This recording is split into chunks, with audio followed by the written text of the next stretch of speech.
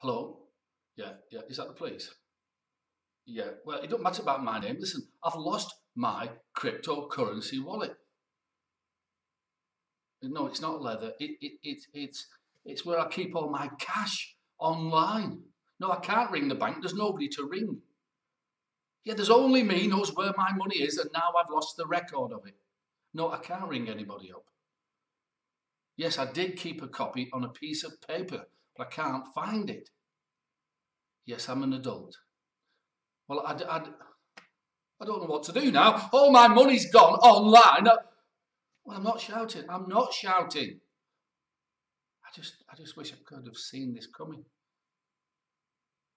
Just, just, you know, you never want to lose access to your cryptocurrencies. Never.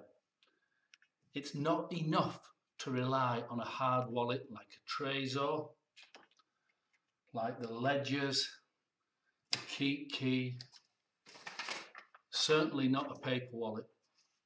Even if you lost your hardware wallet, you lost your Trezor, you lost your Ledger Nano, you lost everything, you still need to be able to get access. And there is a simple, safe solution. Click the link below the video now.